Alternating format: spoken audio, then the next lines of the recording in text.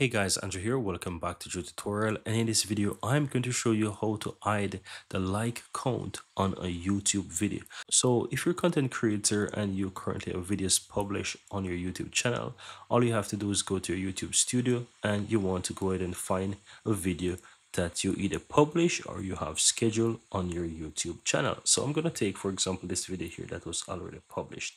And all I have to do is just simply click on the details, which is the edit button here. It's going to take me right into all the video details.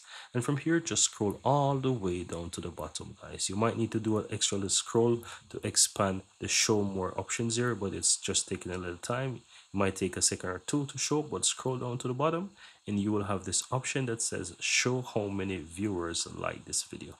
Uncheck this and click on save. And this will now hide the like count from your viewers on this specific video.